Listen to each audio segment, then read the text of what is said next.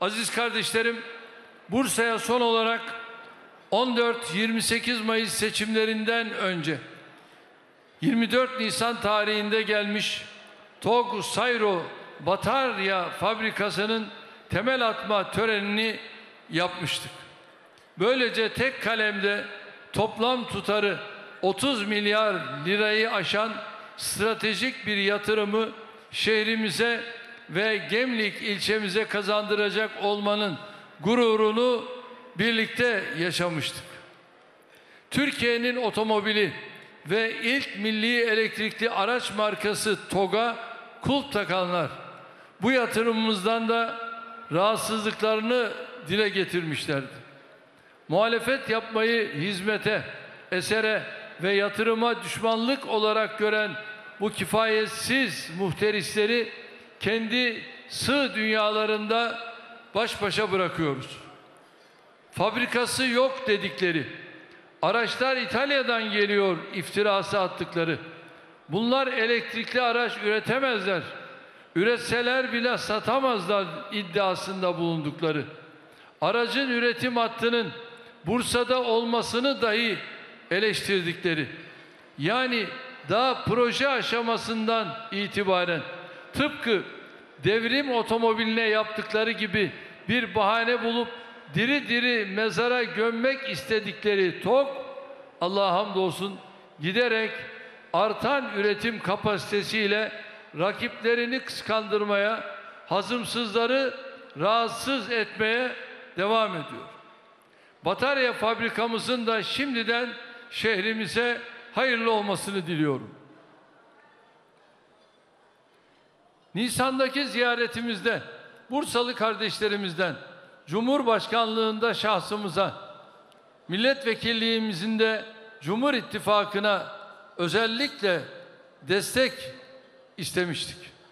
Bugüne kadar bizleri asla yalnız bırakmayan Bursa, ülkemiz açısından hayati önemi haiz 14-28 Mayıs seçimlerinde yine güçlü bir duruş sergiledi. İlk turda yüzde 51 buçuk oy oranıyla, ikinci turda ise yüzde 54,7 oy oranıyla şahsımıza olan teveccühünü çok net bir şekilde ortaya koydu. Cumhur İttifakı olarak da yüzde 51 oy oranıyla ipi yine biz göğüsledik. Orhan Gazi'nin şehri Bursa iktidara gelmek için Kandil ve Pensilvanya'dan medet umacak kadar ihtiraslarının kurbanı olanlara geçit vermedi. Bursa bir kez daha güven ve istikrar dedi. Ülkemizle ilgili farklı hesapları olanlar Bursa'mızın da desteğiyle çok ağır bir hüsrana uğradı. Seçimlerden bu yana yaşananlara baktığımızda Bursalı kardeşlerimizin ne kadar doğru, ne kadar isabetli, ne kadar basiretli bir tercih yaptıklarını çok daha net bir şekilde görebiliyoruz. İşte sizler de takip ediyorsunuz. Daha 8 ay öncesine kadar Türkiye'yi birlikte yönetmekten bahsedenler bugün birbirlerine demediklerini bırakmıyor. Daha 8 ay öncesinde 85 milyonu kucaklaştırmaktan dem vuranlar bugün sabah akşam kavga ediyor. Önce millete umut diye pazarladıkları Cumhurbaşkanı adaylarını ellerine geçirdikleri ilk fırsatta siyasetten zorla emekli ettiler. Etrafında pervane oldukları Bay Kemal'e cüzzamlı muamelesi yaptılar. Ardından bu sefer kendi aralarında paylaşım kavgasına tutuştular. Gün geçmiyor ki milletçe yüzümüzü kızartacak bir skandala, bir itirafa, bütün bunlarla beraber bir skandala, bilhassa gençlerimizin siyaset kurumuna yönelik güvenini zedeleyen bir ayak oyununa şahit olmayalım. Ülkemiz siyaseti adına düşündürücü olduğu kadar gerçekten üzüntü verici günlerden geçiyoruz. Şunu burada samimiyetle ifade etmek isterim. Bizim kanaatimize göre ortaya saçılanlar buzdağının sadece görünen kısmıdır. Turpun büyüğü aslında hala heybededir. Tamamen siyaset mühendisliği ürünü bir proje olan altılı masa kurgusunun organizatörleri eninde sonunda ortaya çıkacaktır. Türkiye'nin ve Türk milletinin verilmiş sadakasının olduğunu gün geçtikçe daha net bir şekilde göreceğiz. Biz elbette siyasi rakiplerimizin kendilerini böyle bir duruma düşürmesini arzu etmeyiz.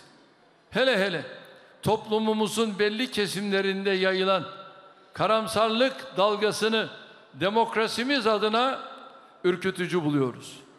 Muafık veya muhalif fark etmeksizin siyaset kurumunun ana görevi topluma umut aşılamaktır.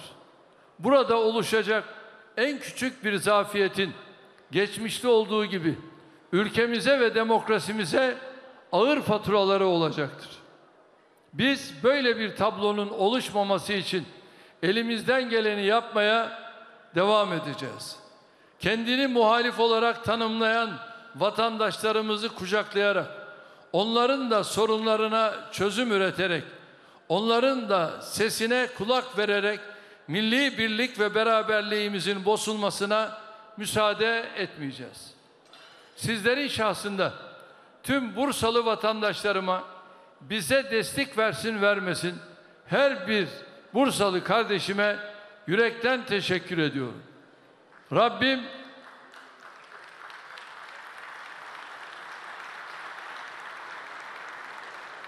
Rabbim dayanışmamızı ve muhabbetimizi daim eylesin diyorum. Kıymetli misafirler, her zaman söylediğim bir hususu bugün burada bir kez daha hatırlatmak istiyorum. Bizde koltuklar, makamlar, payeler, ünvanlar amaç değil.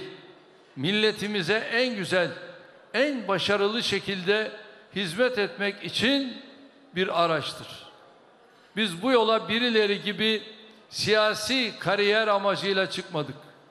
Büyük Türkiye idealini gerçeğe dönüştürmek gayesiyle çıktık. Meseleye bu zaviyeden bakanlarda kırgınlık olmaz. Küskünlük olmaz.